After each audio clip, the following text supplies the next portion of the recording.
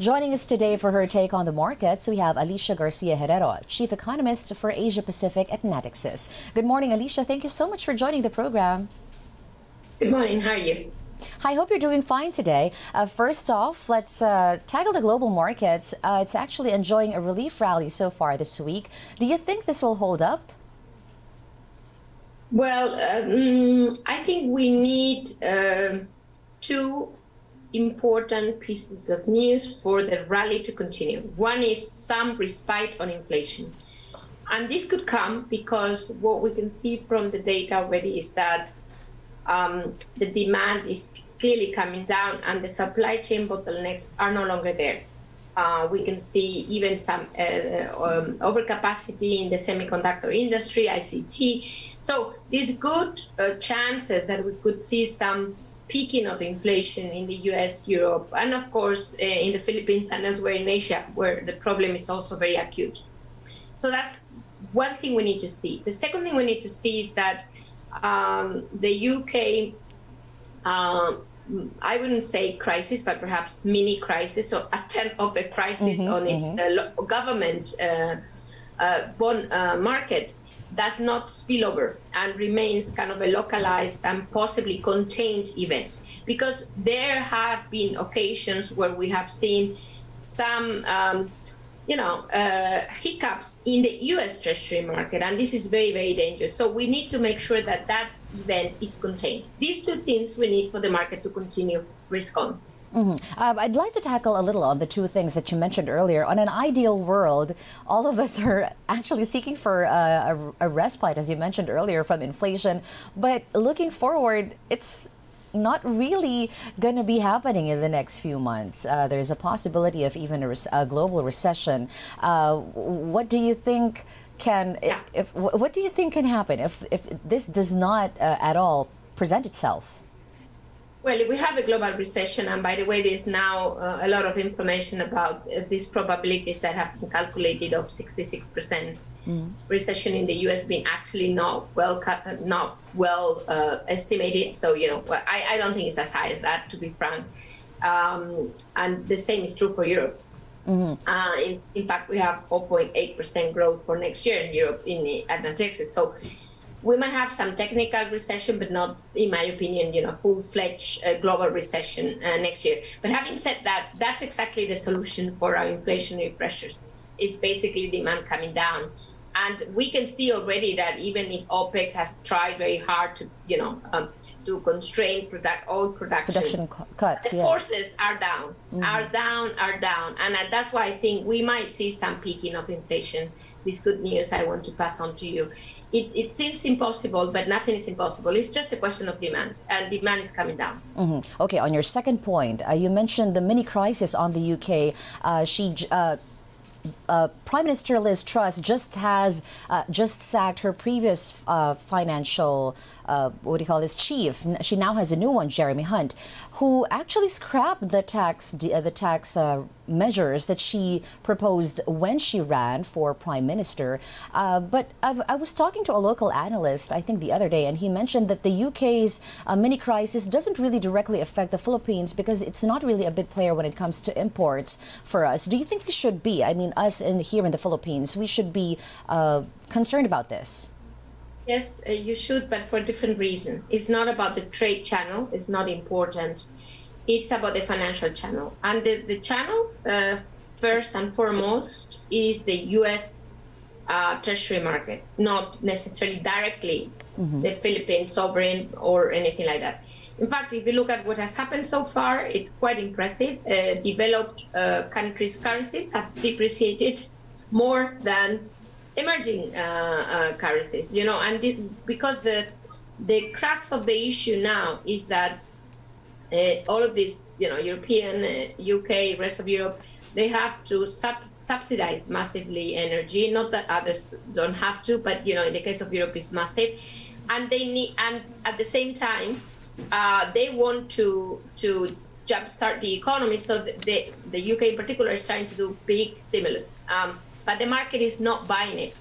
Now that in itself is not a problem in as far as it doesn't go to the financial market. So margin calls of pension funds. These are global pension funds mm. operating in London. and that could have rippling effects on the U.S. Treasury market. So, for example, suddenly, and we've seen that actually, a sudden increase in yields, so you know, uh, collapse of prices, and that is your benchmark, yeah, for the Philippines for every emerging economy. So, if your benchmark suddenly, uh, you know, moves up uh, very, very aggressively, that is going to cre create uh, issues for your funding costs, but also a, a, kind of a reduction of dollar liquidity globally. So that's the risk. That's the risk about the UK. It's not the UK itself. Mm -hmm. It's the rippling effects on the financial uh, sector globally, especially the US through the pensions, the lifers, um, you know, all, all of these margin calls affecting the liquidity of the market. Yeah. Mm -hmm. uh, that's actually a big factor why uh, we're watching at what the Central Bank of the Philippines is actually, uh, the next moves of the Central Bank of the Philippines will be. Now, you mentioned, uh, Alicia, earlier, the U.S. Uh, earlier, uh, last week, the they have released fresh data about their inflation, and it shows that the it, inflation is still persistently high. Prices are still persistently high, despite the reserve, the U.S. Fed's uh, being very aggressive on increasing their rate hikes. Now, of course, we're going to be affected by this, uh, us as a developing country. I would want to know, uh, with, with the possibility of the Fed's increasing rates yet again, how are Southeast Asian economies holding up? Uh, of course, um, the first hikes were, I would say, um, basically uh, not not the the, not followed by many Asian central banks, yeah, BSP, but there's many others. Mm-hmm. Bank Indonesia didn't make after you know a move for months and months until recently, and many others kind of thought that okay, that's the Fed, but we're doing fine here. But then you know inflation expectations, uh, of course, uh, hike and, and moved up in, in the Philippines and elsewhere. And now it's not only about the Fed, it's about domestic conditions. So to me, clearly, central banks in Southeast Asia will need to continue to hike. But the limit of that hike is going to come when the global economy enters not a recession, a faster deceleration.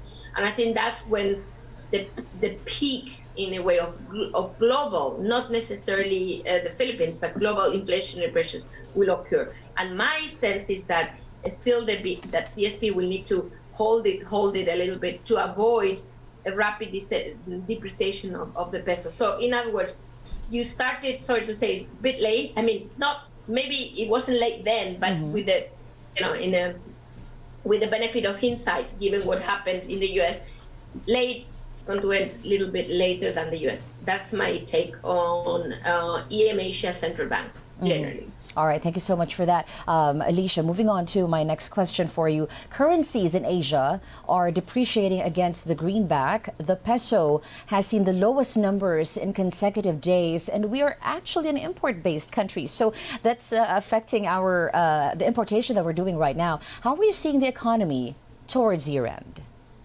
Yes, well, this is the thing. I mean, even if global inflation peaks, I mean, say U.S. inflation peaks, mm -hmm you might not peak because you have two different, um, I mean, actually three very important differences with the US. First, you are a, I mean, you're food importer, rice, others, uh, you are an energy importer, and, and this is the key, your currency is depreciating, the dollar is appreciating. The US is exporting inflation, but it's it's basically reducing its inflationary pressures by exporting inflation through a strong dollar. So that's why I'm saying it will take you longer because mm-hmm. you know it, it, you need to cope with this, and that's why I think it's very important to act aggressively at this point, even if it hurts the economy, unfortunately, because you do not want to have a very weak peso now. It's not a good idea because first, you know, the perception, yeah, of risk is very much associated to which country, which currency is going further south. Yeah, I mean, the, everybody's looking at the British pound. It's not a good place to be now. And secondly, because of inflationary pressures. So that's that's why I think central banks need to act. Yeah. Uh, this is actually the first time, Alicia, that I've heard uh, someone say that you would not want to have a good peso now.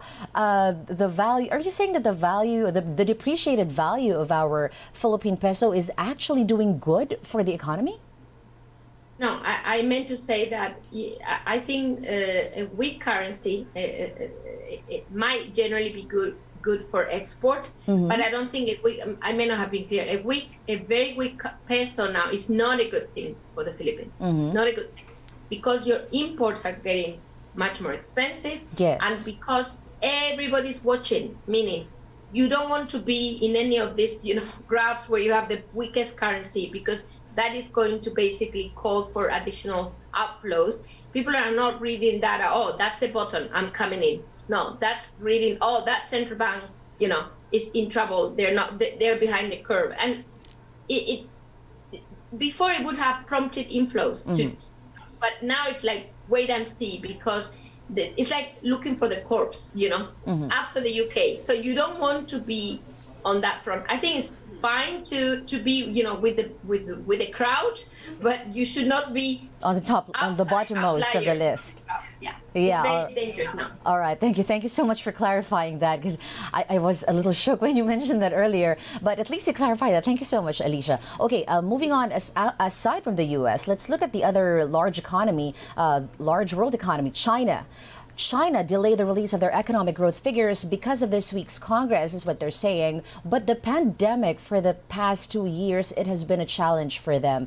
We've seen their economy uh, actually slowing down. They have a very strict policy, the zero COVID policy, and President Xi Jinping is poised to lead his third term in office. What futures do you see with with these factors, and how will, will the Asian economies react to it?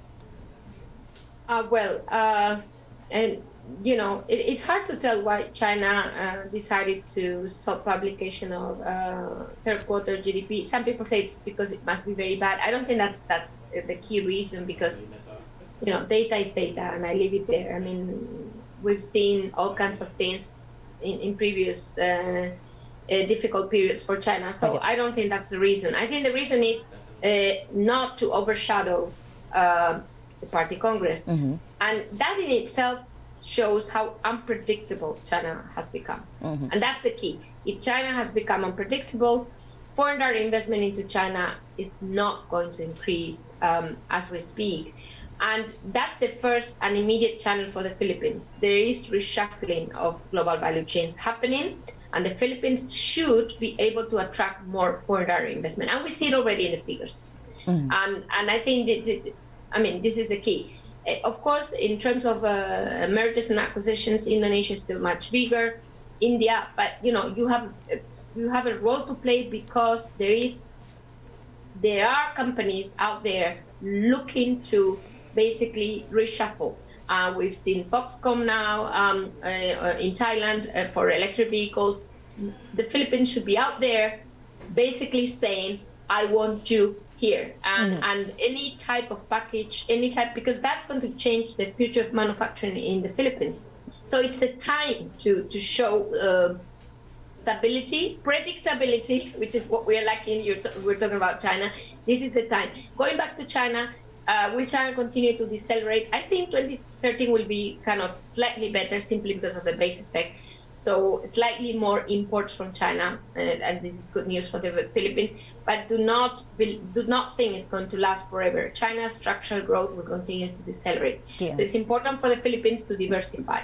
Yeah. Mm-hmm. Uh, so, uh, are you basically saying, Alicia, that uh, this is just temporary for China, and uh, it's the time for the Philippines to step up on the on actually getting uh, the production cuts that China is not being able to do, and getting at least those jobs for the Filipinos here. Okay, um, moving on. Uh, lastly, before I let you go, uh, hearing from President Marcos himself, managing inflation is his administration's top priority at the moment. Uh, what for you do you think is the most effective way of addressing rising prices? Because uh, of course, import. We are an import-based country, and the currency is down. It's going to be raising, rising, raising prices now, and the Filipinos are having a hard time.